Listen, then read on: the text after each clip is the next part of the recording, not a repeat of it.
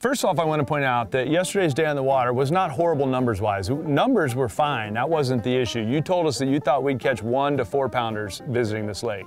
And we caught mostly fish in the right around one pound class. We Oh, didn't sure. find the four pound fish that we were looking for yesterday, the three pounders even that we were looking for yesterday. So judging the day as being a rough day of fishing wasn't necessarily we couldn't get bites. We had a really hard time finding the quality of fish that we wanted to find. Got that one. Oh!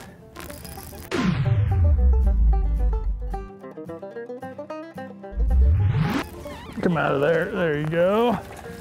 And that fish is fired up there, Miss Bertrand. He didn't let that Choppo go over right off the bat. Yep. And we'll take him. Come on up in here, buddy, and we'll get a hold of that. We're started. We're job. started. We're gonna go with huge. I'm going with huge. Not really, but it does go to show that Choppos. I think a lot of people think when they throw a bait like this, they're only looking for big ones, and they'll all bite it. What do you think you attribute that to, first of all? I would say the biggest thing was we were pretty stubborn and myself, especially with topwater. And ultimately, hey, that's what we were able to get bid on. Like, you know, we were being stubborn, throwing the Choppo all day. That's what we had our bites on. We had some decent bites that maybe we didn't hook up with. Mm, look how fast he's coming out. Yeah, oh, there, dude. yeah. You knew that, That was was one trouble. finally ate our lunch. Yep. We were being stubborn with it, and we're getting to the end of the fall. We both said this might be our last topwater day of the year. Let's go make the most of it. And uh, just wasn't quite the deal for the big ones. Some excuses that the fishermen will give you. Myself as a fisherman, excuses Yeah. I'll give you. We had a full moon. Yep. Um, Not only did we and- have the full moon, the full moon was still overhead. It was, It, it wa- was. it was up when we started fishing yesterday. And that one's on the larger one, and uh, he got your front hook too. All about the shade, man. Yeah. He- you're right, and he did get the front hook because we missed a couple. We're fishing after a full moon. Yeah. We're sitting here talking about And actually, the full moon's probably no, it must have just set. The full moon's been up all mornings. So again, but ultimately it lies back on us as anglers to make the adjustments and figure it out. A couple things I'd add to that too. We and you alluded to it. We were fishing a dying bite, a dying pattern, and the day before it might have been a little better. The day before that it might have been a little bit better, but the pattern was petering out over time, and we were hard-headed about that. Uh, Uh, the other thing about that I think is that when you're getting a bunch of bites, it's easy to get suckered into that. You kind of get screwed into doing that thing because your brain's telling you, well, we're getting enough bites, we're getting enough bites, and like you say, you end up dying by that. And Sure. especially when the bites aren't staying pinned. But I also want to throw out that the only bait we could get bit on was that little Choppo.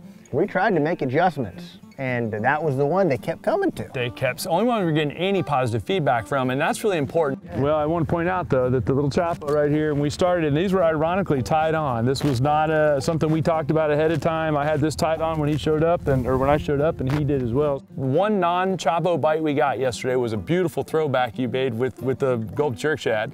He grabbed my rod. We saw a fish roll, or uh, no, he blew up your Choppo.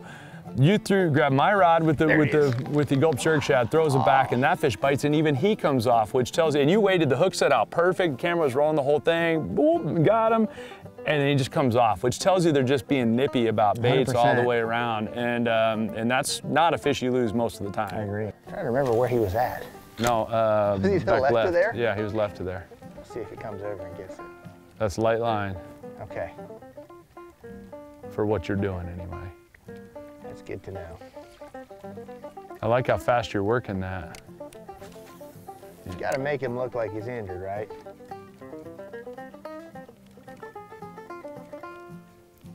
Come on. Oh, got him. There you go. That's why the Look follow at that, dude. I missed him. I missed him Did, again. did you really? I missed him again. Oh, no way.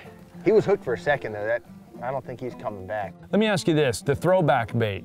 We, we, throwback bait being something you throw to fish that blow up. It worked only one time for us yesterday. Any ideas on why they were that? I mean, what, how- does that surprise you? That surprised me. Yeah, it, it did, and I just it just speaks to the negative mood that those fish were in. Like you said, they were excitable, but they were negative. They weren't necessarily feeding big time. And um, gosh, I, I, I- ultimately I think if there was one factor, I'd put it on the full moon. I'd put it on the fact that again, it's a dying bite. Oh, got him! Got him, did you get him? Oh, he, he hit it twice. Hit it twice like a shark. Shack.